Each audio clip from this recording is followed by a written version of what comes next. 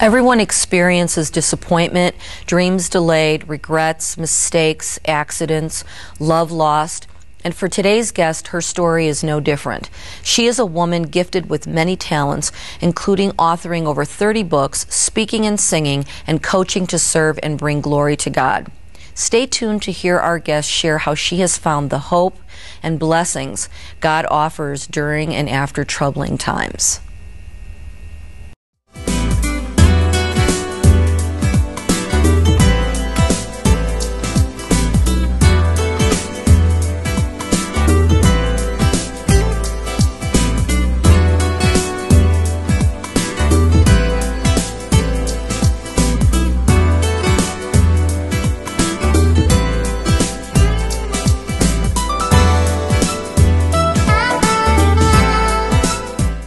I'm Barbara Karpouzian, and you're watching Everlasting Love. God loves you so much. I want to share with you a passage of scripture from Psalm 56 8, and it reads like this You keep track of all my sorrows. You have collected all my tears in your bottle. You have recorded each one in your book. And that's how much God loves you. He loves you so much. You're so precious to Him. And all you have to do is call on Him. He says, If you call on me, I'll answer you. And so today, take the time out just to come to Him in a very simple, childlike way and ask Him to come into your life, to touch your life, to fill those empty places. And believe me, He will answer. And during the course of the program, you're going to see our website and phone number up on the screen 773 286 2172. And our website is www.everlastinglovetv.com. If there's anything on the program that interests you, if you're looking for a good church or a Bible study, if you simply want prayer, please feel free to give us a call, drop us a line, and we will do our best to get back with you. I'm really excited to do today's program. Uh, I, I've just been introduced to um, this this wonderful woman who's had this great impact on our culture. And I don't know where I was, but I'm getting an opportunity to receive some of that. And we're gonna we're going to be focusing on her book how to Get Past Disappointment, Finding Hope. And the author of this book is Michelle McKinney Hammond. And I'd like to welcome Michelle to the program. Thank you. Thank you. Thanks for much. being here, Michelle. So, just like I said, I want I've read a little bit about your mm-hmm. story and You've authored over 30 books and you've had an impact on so many women's lives. Um, and now I'm getting a little taste of this um, firsthand. I get a one on one with you. I'm so excited that I really want to hear your story. Uh, very personally today. So tell us who Michelle is. uh, you know what? Every part. Oh my goodness, that would take way too long. Start from the beginning. Oh no, that was we'd be here for like 10 shows at least. But um, basically, I've, I've uh, been around the world and back and uh, started off with a career in advertising, actually. I was a writer and an art director and producer and worked on many blue chip accounts for Ford and uh, Coca Cola and McDonald's mm-hmm. and a bunch of other uh, blue chip accounts. And just felt God tugging at my heart. And I just kept feeling, although I was living in a very exciting life, meeting lots of celebrities and flying all over the country and, um, you know, just enjoying life and production, the world of production. Um, just kept feeling like there was just something more. Mm-hmm. And there was. And uh, so I left the world of advertising behind and entered into ministry. Hmm. So um, I wrote a book. I got hit by a car um, as I was working freelance and uh, ended up in bed for a year and a half. Wow. Uh, uh, surgeries, three surgeries, yeah, lots of therapy. Um, but while I was in bed, I wrote my first book, which took off and sold out of its first printing in three weeks. And, and the name of that book is What to Do Until Love Finds You. I was really struggling with uh, okay. the single life at that point in time, and all my friends were single, so I started mulling on the aspects of what we were struggling with and sought God, and He gave me a book that is still a bestseller today, actually. Mm-hmm. And uh, so after that book took off, then you know all the publishers started calling, and so 37 books later, here I am, and I've kind of branched out from singles to I've done a lot of books for singles, but I've also done a lot of books for women, a couple of books for men mm-hmm. um, that range on every topic from temptation mm-hmm. to womanhood mm-hmm. to manhood and God. Um, Divanomics. I, Divanomics. I even have a, a, diet book, The Real Skinny on Losing It. you know, so uh, there's a lot uh, going on in life, and, and I, I love breaking down the Word of God into practical principles mm-hmm. that people can follow and apply to their lives so that they can experience the victory that God wants us mm-hmm. to have. So, how did you come to know Christ? Well, um, I endured the death of a boyfriend. Um, we were living together at the time, and he, we had had an argument, and he went off to Los Angeles to kind of diffuse. And while he was there, um, he got caught in the crossfire of an argument between two other people and was uh, shot and killed. Oh, my. So I was very devastated. I was only 21 mm-hmm. and uh, was freelancing, trying to get this job that I had gotten, that I got. The same day that he died, I was hired. Wow. And I was out um, celebrating and got the news when I got home that he had passed away.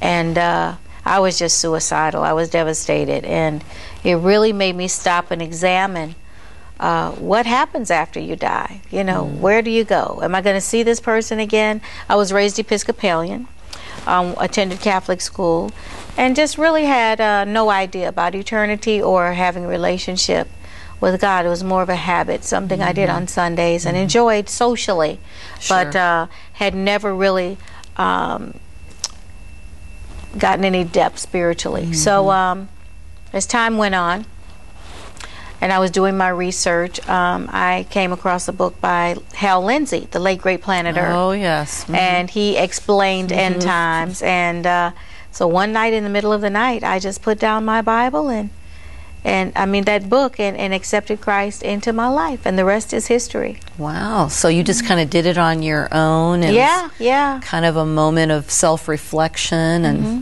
thinking about death. And I think a lot of people think about what's going to happen when I'm not here anymore. And I know that I thought about that in my own life. Is what I remember walking to my locker in high school and kind of asking the question like what yeah. happens when we die and mm-hmm. so okay so you accepted the lord mm-hmm. and you you leave this corporate america well not right away not okay. right away this was at the beginning and um, so I, I accepted the Lord, but I really didn't know what happened after that. You know, I mean, what do you do? I didn't know anybody that was saved. I didn't have anyone to mentor, discipline, you know, to disciple me or any of that. So I kind of went back to my way of life and just, but I had a great sense of peace that I had made this connection with God and that everything was going to work out some kind of way. What what prompted that? I, it was just the Holy Spirit, I mm-hmm. suppose. But um, one day I got on the bus and there, there was this woman on the bus. She had this huge Bible on her lap. So I said, well, if she's carrying a Bible that big, she must know something about what's so I just plopped myself right down next to her and just got in this whole conversation, which is something I did not do on the bus. I was very much a self-contained person. But I was just so curious because she had, well, you know, those big Woolworth mm. Bibles, you know, which you get for nineteen ninety nine. Oh, I'm really dating myself now, right? But she had those big tabletop. So I sat down and started asking her what she knew about end times because I was so fascinated with what mm-hmm. Hal Lindsey had to say. Well, we got into a whole discussion. Somehow or other, she managed to wrangle my telephone number from me. And uh, she kept calling me and inviting me to go to church. Well, after the death of my boyfriend, I had gone back to church, but had a very bad experience there. So I decided I wasn't going back. Mm-hmm. And she would call and invite me to church. And so I would always have an excuse for why I wasn't going. And then one day she called and tricked me into coming by asking me what was I doing at three o'clock. And I figured, well, church must be over. so nothing. She says, good, I'll be there to pick you up at church. uh, you know, how am I going to get out of this now? So I went ahead and I humored her and I went. And it was very different. It was a little Assembly of God church that was just starting off. Very intimate, close knit group of people. Quite different from what I was used to. And I found it very interesting and a bit comforting. Mm-hmm. So I got in the car afterwards and lit up my cigarette and said, you know, that was really nice. I think I'd like to come back again next week. Is there a smoking room? Or you know. So I, I went back, and uh, the week that I had gone, there was a visiting pastor. So this week, when I went back, it was the pastor who promptly announced at the end of service that he was going to pray for everyone and lay hands on them and anoint them with oil. And I was like, mm, that's a little bit much for me, you know. I'm Episcopalian, that touchy feely stuff, you know. But I found that I felt very awkward sitting there because I was the only person who didn't think this was a wonderful thing to do and jumped up and ran up to the front. So I was sitting there, and after a while, I was like, you need to get up and go, you know, whether you understand what's going on or not, just in, when in hmm. Rome, do as the Romans do. Mm-hmm. So I got up and I just had the most unusual feeling as I walked towards the altar that I just wanted to just weep, like from the tips of my mm, toes. I mm-hmm. just wanted to weep, yes, and yes. Um, I just was not going to do that because I wasn't used to public displays in church, mm-hmm. and so I mm-hmm. was fighting and fighting to contain myself. But when I got to the front, the pastor laid hands on me and said, "Oh, God loves you so much. He loves you so much." and he's called you. He has something for you to do, but he loves you. And when he said that, I just broke. Mm-hmm. I mean, the mm-hmm. floodgates opened, and mm-hmm. I was sobbing so loud. I was just embarrassing myself. Mm-hmm. But after that, I was never the same. I mm-hmm. was. Uh, I was on a, a roll for Christ. I was on fire. I was witnessing to everyone, dragged tons of people to church, you know and um, just was tricking them at three o'clock in the no. I didn't trick them. I just told them they were going to hell and they needed to get saved. I was there very bold. Go. I was John, a voice in the wilderness crying out. And so you know, I mean, here I am in the world of advertising where it's about partying and lunches and you know, really networking to mm-hmm. the wazoo. Right, and, right. And all of a sudden, I don't do that anymore. I don't go anywhere. I don't do this. I don't drink. I don't smoke. I don't do anything. And you know, I had a boyfriend at the time. I was like, I can't sleep with you anymore. You're going to hell. You're going to hell. You know. And everybody was like, What is wrong with this girl? My mother thought I had joined a cult, so she started investigating. You know, what is wrong with her? You, drink, you, know, who you know, brainwashed her, and she got saved herself in the middle of it all. Um, and but it was just an amazing time, and it was a very effective time. Of course, it couldn't go on that way for forever. Someone was going to punch me in a minute, but. Um, my life has never been the same since then. And of course, as I grew and matured in Christ, I got some sense about how to. But you know, the crazy people work for a while, That's but right. only for a while. That's right. You know, um, so eventually, I had to get some wisdom. You know, I, I remember going home for uh, Thanksgiving that year, and, and the Lord spoke to me and said, Michelle. And I said, Yes, Lord. You know, I, I heard him very clearly, you know. He said, I want you to do something for me when you go home. Do me a favor. I said, oh, Yes, Lord. Anything you say. He said, Please don't talk about me. You're messing up my work. I was like, Oh my gosh. Really, Lord? What a yes, request. you know. Yes, yes. Just live. Just be in me. That's I said, right. okay. Mm-hmm. So I went home and I didn't say anything because I actually had gotten to the point where I was turning people off, you yeah. know. I did that. I, I, I yeah, I think we all have that little phase, you know. that crazy moment, Repent, right? you know, it just doesn't yeah. work. And so, um, you know, I, but it, it worked until it was while it was supposed to work. You know, some key people got saved during that time a Bible class was started at at, at uh, Burrell where I worked, and um, you know, and people knew after a while that I was serious mm-hmm. and that I, I, mm-hmm. hadn't flipped out, mm-hmm. and um, I continued working. But then I began to uh, take advantage of, of my status um, to be able to reach out to people that wouldn't be reached mm-hmm. any other time, mm-hmm. models and actors and sure. musicians. And sure. So it was exciting to meet um, people who weren't going to church, the unchurched, and, mm-hmm. and just mm-hmm. really share with them and see many of them come to Christ mm-hmm. who are mm-hmm. still in Christ. And um, it was an exciting time. So, what was the shift like? How how difficult was it to leave that and to transition into ministry? And and and how how did you get the call? Well, I you know it wasn't difficult because I had had enough after a while. I mean, I was I was in the business for about 12 years and then I freelanced for several years mm-hmm. after that. And I just did a job again. Can you believe it? Okay. Uh, okay. Uh, but, um, it, you know, I just had a sense that there was something more. There was something more that I needed to be doing. Okay. And even though I was doing the Bible class at, at work once a week and teaching Sunday school and leading worship mm-hmm. at my mm-hmm. church, mm-hmm something was missing. I just felt like something else was supposed to be going on. And my mentor had um, encouraged me to write a book about singles.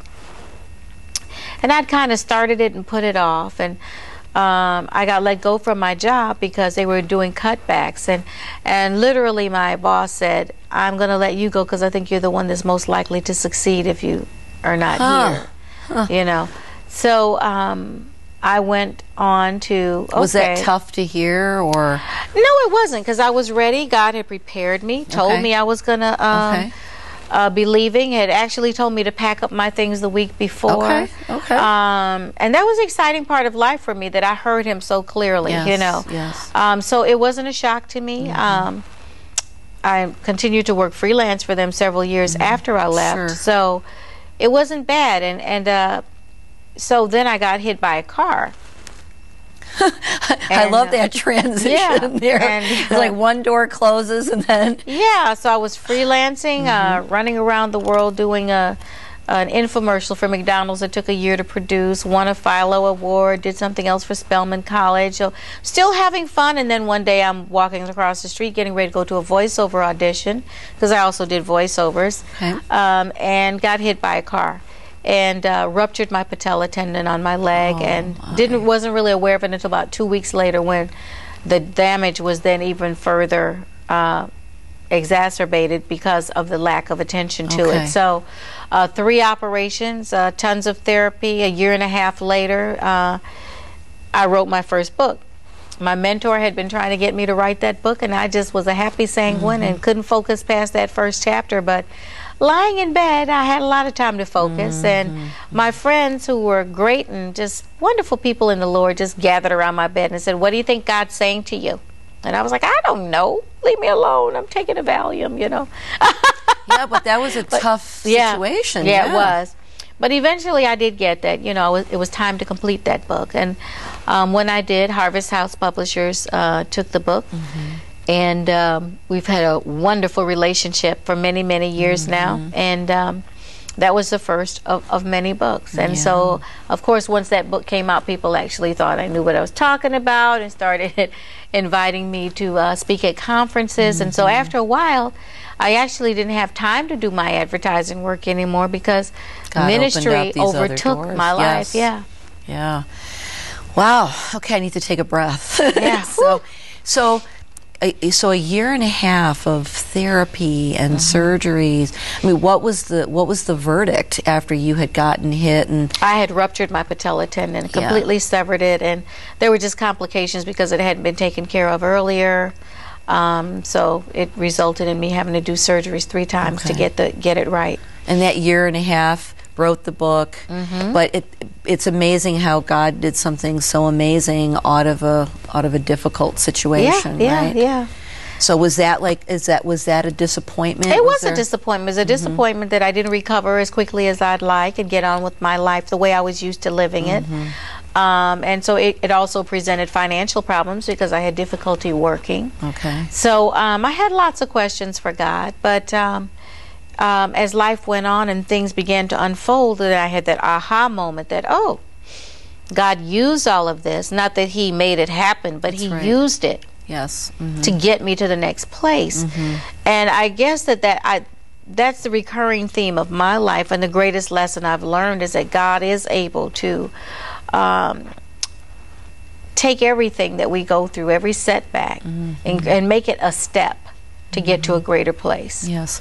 So we're actually uh, we're going to segue into into your book, and we're talking about uh, Michelle McKinney's. Uh, uh, Hammond's book, "How to Get Past Disappointment: Finding Hope," and um, I I enjoyed uh, some of what I read in here, and I really think that this could be a Bible study. I think It it's is, set it up is, for yeah. a Bible study with some great um, reflective questions at, at the end of, of each of the chapters. Mm-hmm. And then I love the cool water section that's in the back, which is kind of a devotional.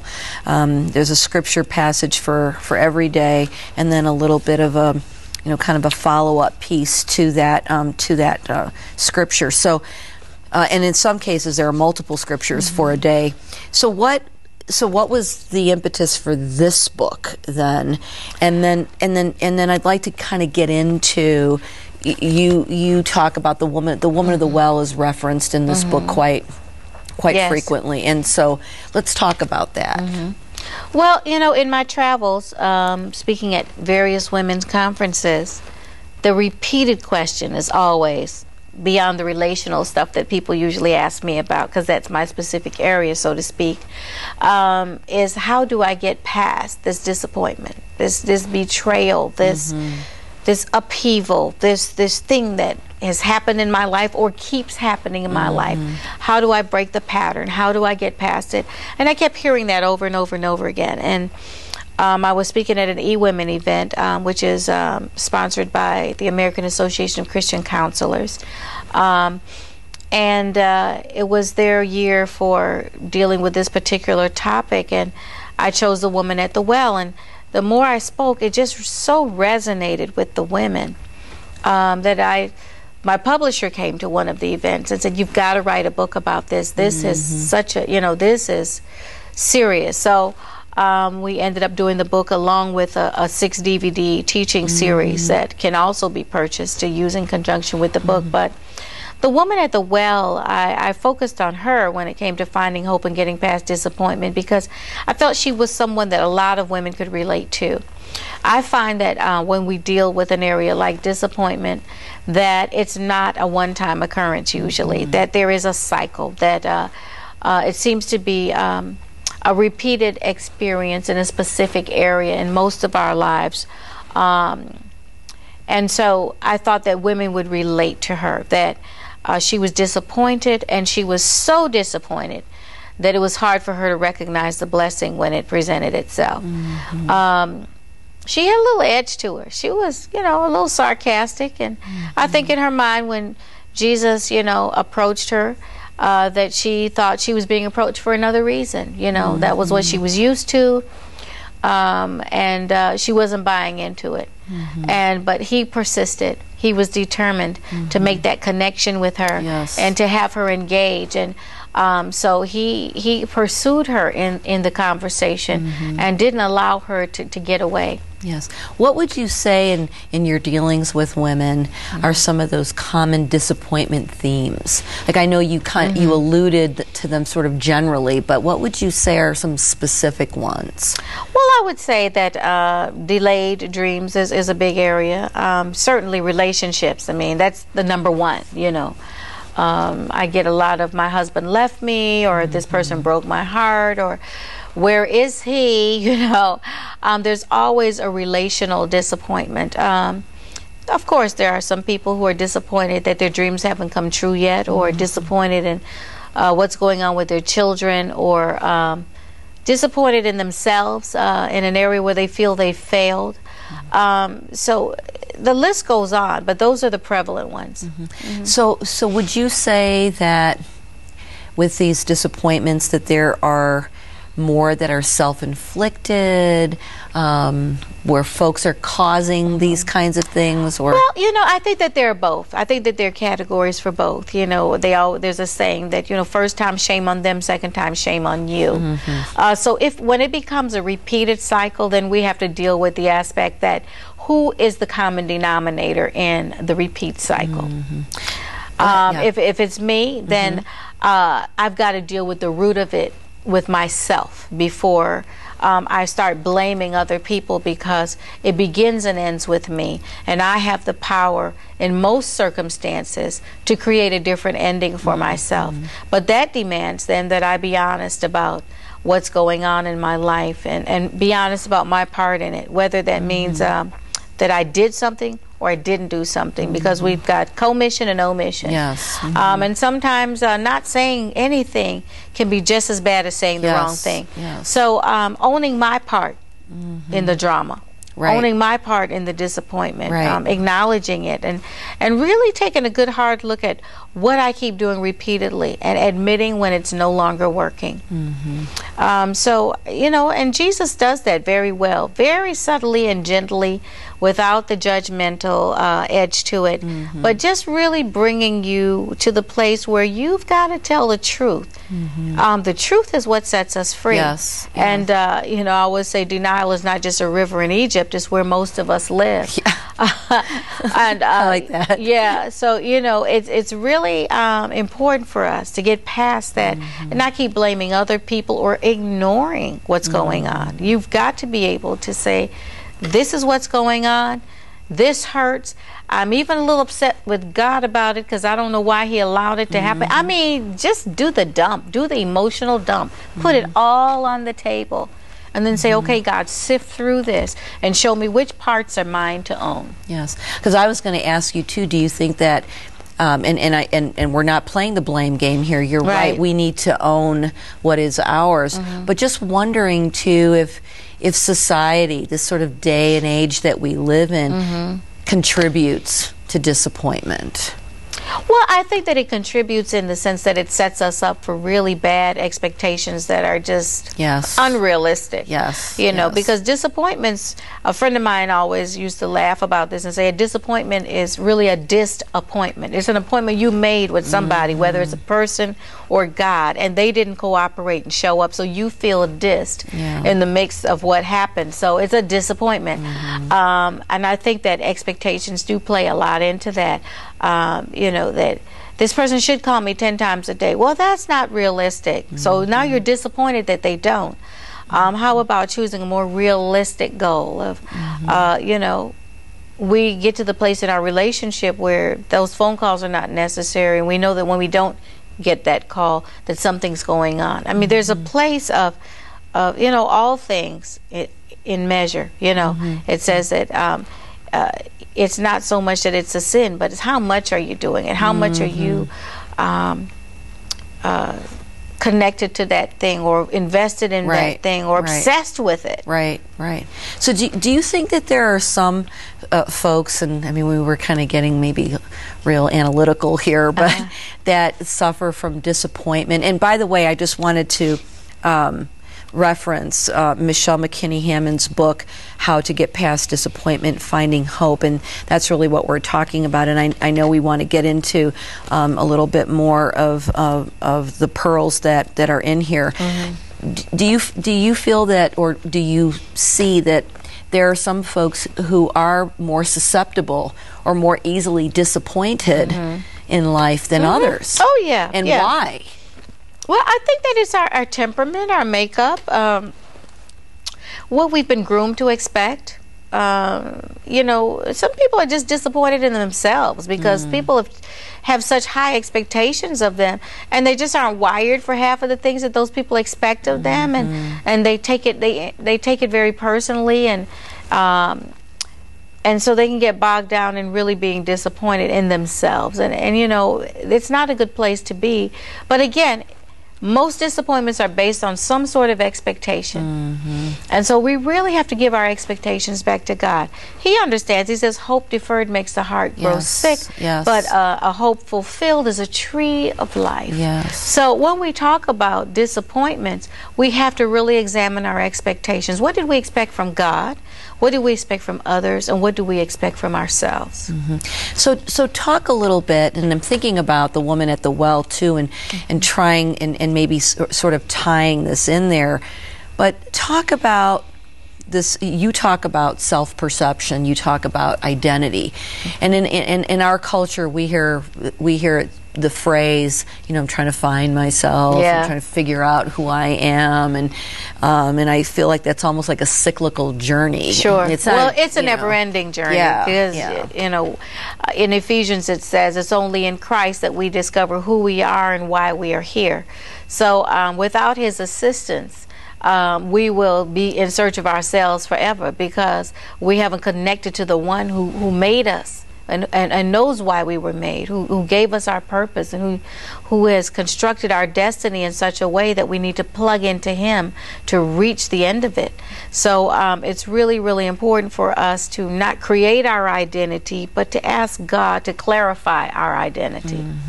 So, somebody who's not a believer obviously doesn't make a connection to that Right, at all. right. And so, that's really for somebody that recognizes that they're made in the image and likeness uh, um, of God. And so, so how do how do we do that? I mean, I, and I guess you know I'm thinking about the woman at the well, and mm-hmm. and and you know she was in a pretty tough place. And there might be folks that are watching that don't even know much about her. Mm-hmm. You might want to tell them a little bit about her. Mm-hmm. And and you know how how do we do this? So we said we ask god but like you know how do we how do we in our own lives um, develop a, a healthier self perception um, and and where does the negative self perception come from Well, it, can, it comes from parents, it comes from peers, it comes from comparing ourselves to what we see on television. Oh, I'm supposed to be a size zero. Well, guess what? You're not, you know, and that person's not, is, is like killing themselves to stay size zero, you know. Right. Um, so I- think that there are a lot of external pressures that overtake the internal uh, desire. Because I think most of us are pretty okay until other people start telling us we're not, you know, and, and then, oh, and then we start comparing ourselves, and that is a never ending thing. Because at the end of the day, there's always going to be somebody richer than you, cuter than you, smarter than you. There's always going to be somebody more er than you. Yeah. So uh, once we understand that, we can stop the comparison game and get back to, okay, God, here I am. You said I was fearfully and wonderfully made. What was I made for? Because really, that whole search for um, self esteem and, um, and all of that lies in our purpose and us fulfilling the reason we were Yes. created. Uh, there's something about when you get up in the morning and you're doing what you were created to do that you don't have these self-esteem issues because there's a self of an of awareness um, that I am doing what I was created to do. Yeah Um, and that's in every walk of life. It's it's who I'm touching. It's how I'm affecting even someone that I smile at on the street. Um, that might have saved their life. Some they might have been on their way to kill themselves, and your one smile said gave them the hope that they needed to say, "I can hang on another day." We don't know. I you know I think that we get so bogged down in what we're supposed to be doing, and yet God doesn't tell us to do anything. He says, "Be." be in me be ye holy. I mean his list of, of doing is real short and the list of being is a much more concise list and very clear when it comes from his word. So it's very important um, for us to not get our priorities askew and for us to um, line up with his plan, which is not to um, fill yourself with pride about who you are, but to understand who he created you to be and understand that's a good thing. Yeah, I was listening earlier. Actually, I think it was today. There was uh, there was a, a talk show. It was kind of like a news talk show, and um, they were and it was about weight. And they said that they were interviewing these young girls. I mean, these girls were like five and 6 mm-hmm. years old, mm-hmm. and they were already. One of the girls was already talking about that she was fat, and mm-hmm. part of that was was was spoken into her with by some of her peers, um, and and she's talking about this right. And then they brought in a group of of these young girls. I mean, seriously, they were Yeah. like five years old, six years old, and they were already talking about physical beauty. Sure. And I'm thinking to myself, where is that coming from? It's coming from the media. It's coming, and it's coming even from parents. I mean, I think that parents are influenced, and they start saying, "Susie, don't eat that. You're getting fat." Well, that. You know, children really internalize what parents Yes, say yes. um, and take it to heart. And uh, just one sentence can like set somebody off for the rest of their lives. And so, Yes. Parents have to be very careful and understand that their mouths have great creative power uh, with their children, and that what they say is what they get out of their children. So uh, it really is is good to ex- encourage them and exhort them and Mm-hmm. give them a sense that they can do anything and that they're great, Yes. they're wonderful. And you know, when when when you feel good about yourself, your body lines up with yeah, that. Yeah. Well, and I think you can do things that are healthy at Sure. home, and but you have to be careful how you verbalize things. Right. Mm-hmm. You know, I have two daughters that are grown, and and I you know, and I think and I thought about that a lot Mm-hmm. because when I when I was a kid, I come from a Middle Eastern background, Mm-hmm. and so I was in an environment where I was kind of like. Um, you know, I was different than than the other kids, Mm-hmm. Sure. and I was made fun of. My Yeah. features were made fun of, and you know, just and just sort of the way that I was raised at home because my pa- my my I was a first generation kid. Sure. so I was raised a little bit differently. And you know, when other girls were shaving their legs, uh, mine were still not shaved. My Uh-huh. uniform was longer Uh-huh. than the rest of theirs, and and I and I and I remembered being impacted by some of the things that were, said, Mm-hmm. said, to me as a kid. Although when I go back to my reunions, I'm like, hey, you Yeah, know, you look great, and they all look Yeah. horrible. they live way Well, too I fast. wasn't going to say that, Yeah. but you know, Yeah, I I, mean, hear you though. You know, you know, the Bible says that He renews our youth Yes, like the he eagles. does. You know, Yes, and and, and it, you know, I went to my class reunion. They were like, "Oh my goodness, you look great," and I said, "Yeah, a sinless life will That's keep you." right. That's- it's the best beauty secret on the planet. Well, and I always, I always uh, share Psalm 16 with folks, where David said, "Preserve me, O God, Mm-hmm. for in Thee do I put my trust, and surround me with the godly men and women of the land." And Mm-hmm. and I believe that that because I heard that it's only one quarter genetics and it's three quarters everything. Mm-hmm. Yeah, all the choices that we make, our right. food, what we do with ourselves, you know. Yeah, Um, so, you know, I always say God saved me from myself because I was Yes. full of, of bad habits before He got to me. You know, and He miraculously delivered me from all of those and, and preserve my youth. I told Him that was our deal. I would stay long, I would stay single as long as He wanted me to, as long as He kept me cute because I didn't want to have to tell my husband I used to be cute. I think you're really cute. oh, Michelle. thank you. Thank you. So Thank okay, you. so now that we passed that, right? well, and so self confidence Yeah. is the other piece, right? Yes, yes. And you you've started talking about some practical things. Mm-hmm. So there's this conversation with God, Yes. and then there's this application of His truth in our mm-hmm. lives. Yes. and you talked about doing his will Yes. figuring out what is what is it that i'm here Mm-hmm. for and when you are fulfilling that Mm-hmm. there's a joy and a happiness Yes. in, in in our lives right Yes, this, this, there this sense of accomplishment Yes, there's the, the purpose. Well, we've all heard about the purpose-driven life, but um, I think that it was so popular because it is the core of our existence. Um, and everyone, whether they're saved or not, wants to know what their purpose is, and and everyone longs to be significant. Um, and I think that that if anything affects our self-esteem, it is the uh, it is the feeling that we haven't contributed something to the world. So it's very important for us to get in purpose and realize that some purposes are uh, much more subtle. And as they say in theater, there are no small uh, roles, there are only small actors. The same thing can be said for life, that um, there's no insignificant role. Um, every role plays into something that creates the big picture. It is a tapestry. Yes. Um, it is. Some people are the gold thread. Some people are the bold uh, black outlines, and Mm. some people are all the colors in between. But without all of those threads, Mm-hmm. Yes. there would be no dimension in that piece of art that makes it something that people want and pay a lot of money Yes. for. So it's very, very important to say, I'm a fine thread in the scheme that's of life. you right know. i like that Yes. to write that one down Yes.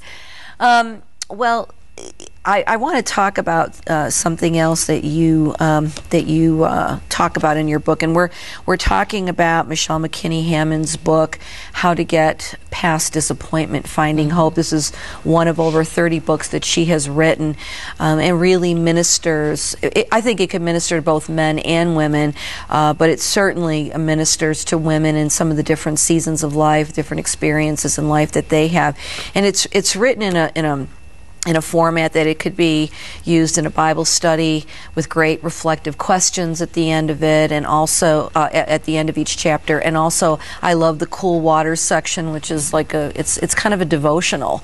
Uh, it is a devotional, and and, and it, it, it's scripture that's that's written out for you for thirty. I think it's thirty one days, and um, and then under each of the scriptures is a is is, is a little bit of a of a summary and and just kind of um, some some spiritual support to that scripture. So um, just it, I'm just glad that we have a chance to to share some of the nuggets um, on our program.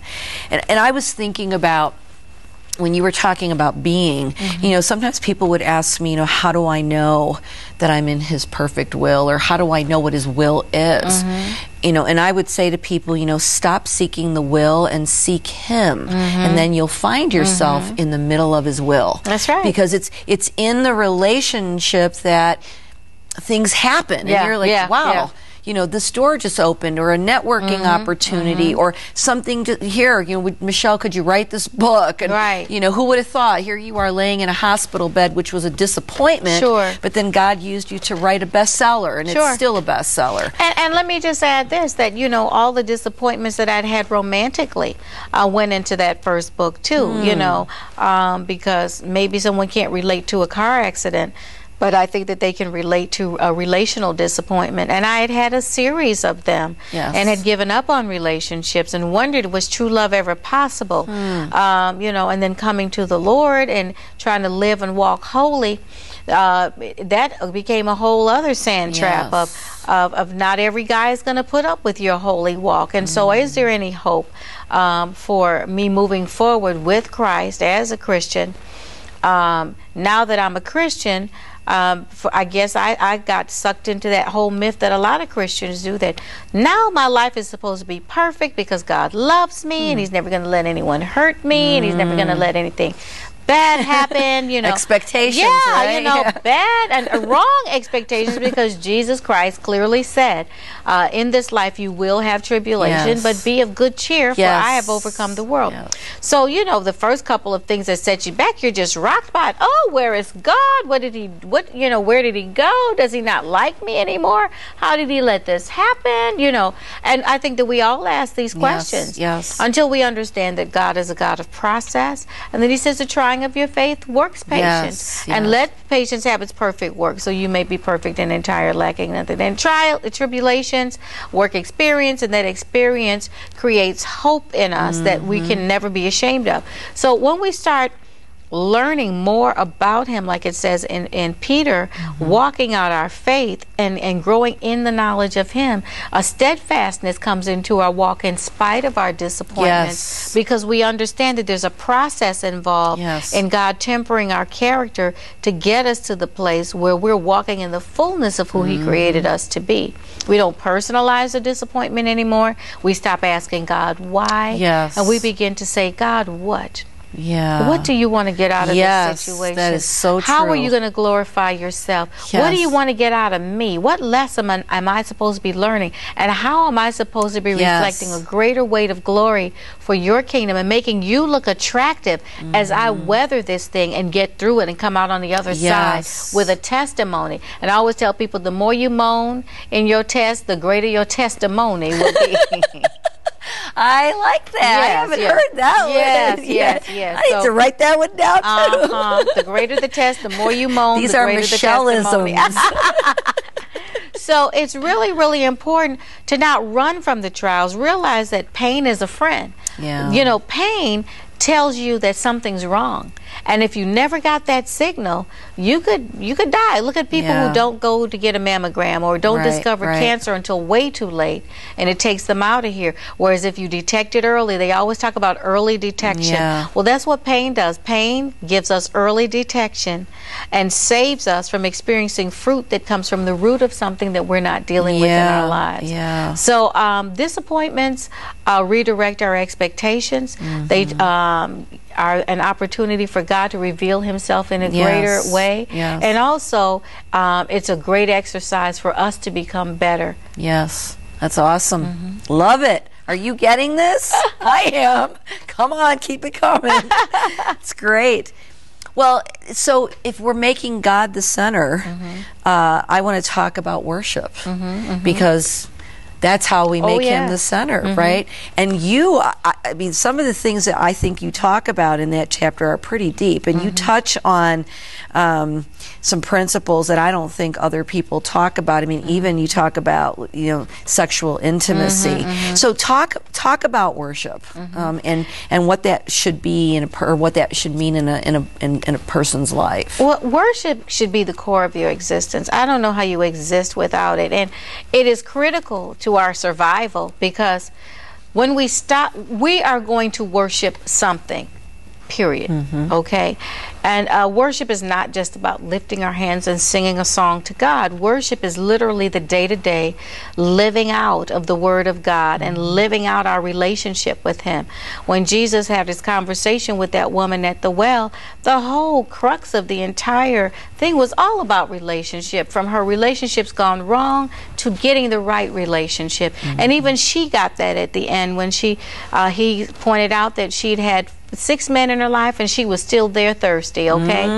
And uh and so you know and, and she goes yeah you're right. Well, so I think something clicked in her in that moment, and she said, "So how do I get to God? Because obviously the men are not working. That's right. You know, even she got it. You know, um, and she wasn't deep. She was just the average woman. Right, right. So when we think about this in the context of our own lives, uh, all the things that we try to fill our existence with Mm-hmm. uh, for satisfaction um, or to, to gird up our faith, even, will never, they'll always fall short um, because they're not what, they're not going to fill the hole that God created for Himself in our mm-hmm. hearts. Mm-hmm. And Wait, what can hap- I interject something here, mm-hmm. Michelle? Something too that, and I don't know if you alluded to this in the book, but she was willing to tolerate the going out when it was hotter than oh, everyone. Oh, just to avoid. yeah, yes. she was willing to tolerate the the discomfort. Yes, Yeah, she was tolerating discomfort because her life and the choices she had made